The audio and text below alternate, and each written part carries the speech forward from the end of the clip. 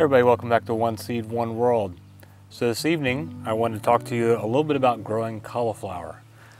now in this bed here, I've got a mix of both cauliflower and Brussels sprouts growing.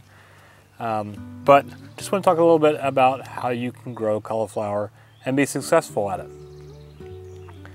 Now cauliflower is a little bit more finicky in the variety that is um, brassicas or the family that has brassicas or the, like, sometimes they're called cole crops. They're uh, things like broccoli and kale and Brussels sprouts and cauliflower. They're all part of the, the same type of family. They like cool weather, but cauliflower can be a little bit more picky. Um, whereas your kale and broccoli and whatnot might be more frost tolerant. Sometimes cauliflower doesn't like the harder frost so much. They do like the cooler weather, but not the hard frost. So to grow them, you can start them inside, um, probably about 10 weeks or so before your last uh, frost date in the spring, kind of get them going and established. And then when you're kind of past that time when you're gonna get the hard frost, light frost might be okay, but you know, I don't know, maybe depending on what your location is, for me here it's April, uh, you can move them outside and they will thrive in that kind of cooler spring weather. Um, especially, you know, like up to about 75 degrees, they do very well. You hear the siren? Got something going on. There it goes. Okay, anyway, they like the cooler weather. Um, but they don't like it too cold and they don't like it too hot. If you are growing cauliflower and it gets too hot, they won't give you a decent head. They will put off like these little like weird floret things um, and not really give you a nice head of cauliflower. So you want to get them started early and be able to harvest them before like the extreme heat of summer. Now we've had uh, a weird spring, early summer where it goes from like three days of 95 degrees, you know, 98 degrees, high humidity, and then three days later it's 70 degrees and 50 degrees at night. So there's been a lot of weird mix back and forth for us. But I was able to be successful with growing some cauliflower. So let's take a look at it. So I've been growing this stuff in a hoop bed.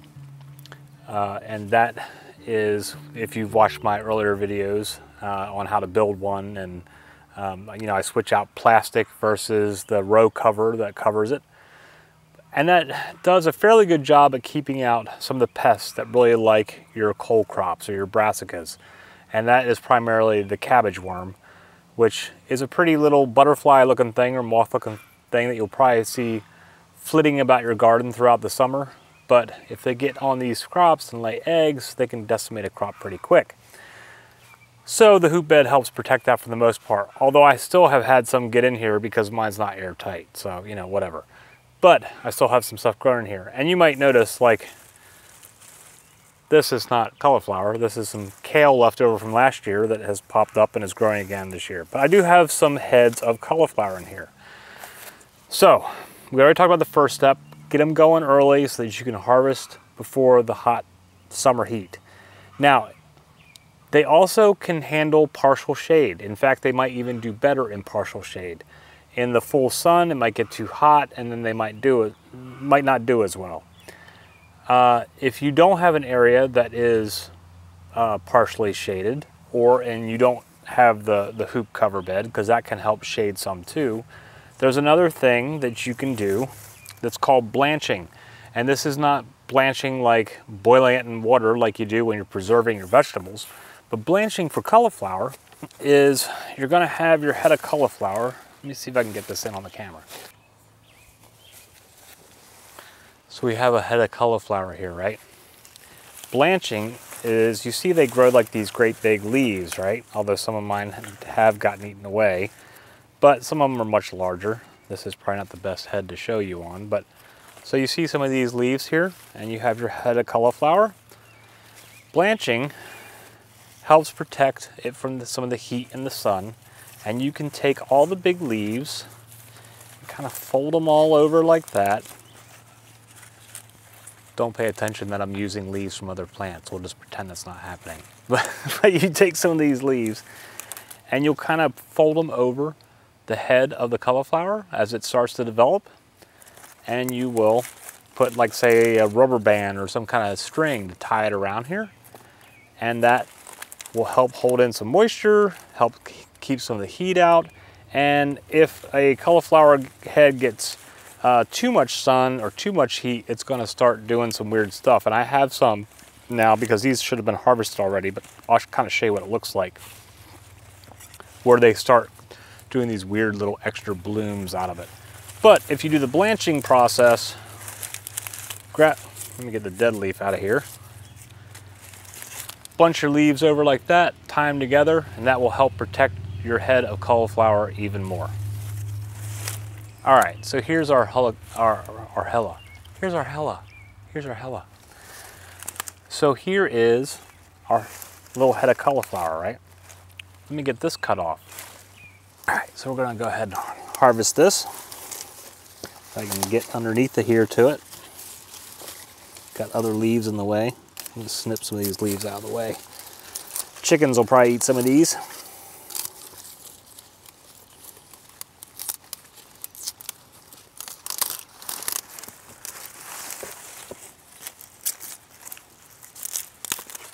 Now, this is one of those heads, got something on there, uh, that has, I waited too long to harvest. It's starting to get some like these little kind of bubbled out florets. Like preferably you would have harvested this a little bit earlier and you'd have a tighter head, but this is still pretty close. Like I'm probably only a couple days late at this point. So we still have a really good head of cauliflower but you can kind of see how it's like bubbling out a little bit. That's from too much heat and waiting too long to harvest. This is a, a smaller head, but you see how much tighter it is. It doesn't have any of the bubbles. Actually, there's a little tiny one just starting right there. You can maybe see that. But overall, this is a nice little head of cauliflower.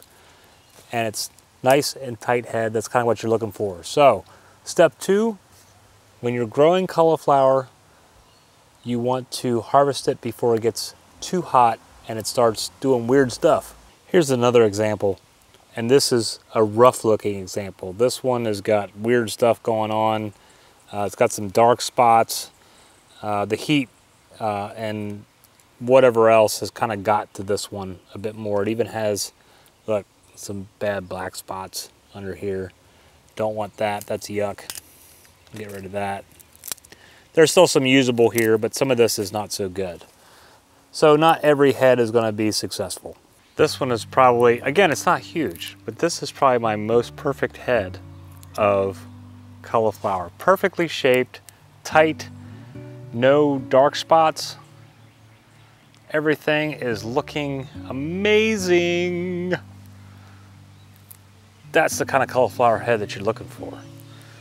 And you can be successful at growing cauliflower. You just have to start it early enough, protect it from the extreme cold frost, it likes the cooler weather, and get it planted early enough so that you can harvest it before the heavy heats come in. Um, now, of course, you know, the leaves and stuff are edible. It's, you know, part of the cabbage family and the kale and all that. You could, you could eat this if you want to, or you can feed it to your chickens if you've got chickens. Um, the one, I guess, Unfortunate thing about cauliflower is that you are only gonna get one of these. It's not like broccoli where, you know, you pick your main head and then you'll still get some like little side shoots of maybe smaller broccoli florets coming in. Cauliflower doesn't do that. You get one main head, you harvest it, and then the dishes are done, dude. So, once it's done, you can pull out your plants, plant something else. Um, compost those, feed them to the chickens, whatever it is that you are able to do, eat them, you can, you can do whatever you want. Uh, but then you have more garden space and you can plant a second crop for uh, other things, or you can maybe save this area and then again, maybe say, I don't know, late July, August, again, it all depends on where you're living and, and kind of when your temp, your high temperatures start to wane. Um, but you could do a second crop and then harvest more cauliflower in the fall. Uh, just time you know, you're, you're planning right, because I think these take probably, uh, I forget, but probably at least a good 90 days uh, or more. They might even more than that to get to harvest. But you kind of have to time it so that you don't plant them too early where they're going to just bolt, bolt immediately if it's too hot out. If they sprout and then it's too hot, they're gonna just go to seed and you're never gonna get ahead. So you kind of have to time that out. But you can be successful growing cauliflower. One, plant them early. They like the cool weather, but not too cold and not too hot. Try to get it in that 75, 80 degree range maybe, uh, Fahrenheit. It's good if you grow them in a covered bed because they will be affected by things like cabbage worms. They will be attacked if they are not protected. Um, harvest them before they've, once they've formed a decent head but not uh, been hit by any extreme heat where they start growing the weird stuff out or maybe get affected by other diseases and whatnot. Uh, and then pull the plants after you've harvested your one head and replant for a second planting in the fall. And that's how you can grow some good cauliflower. There you go. I'm, this is my, I'm really, I, I gotta look around in here. I might have a couple more ones in here, but this is my best one. This is nice. All right, guys. Thanks for stopping by and hanging out with me again today. We will see you again soon. I hope you're having a great day in your neck of the woods. And I hope whatever it is that you're growing this summer, hope it's gone amazing for you. But see you again soon. Namaste.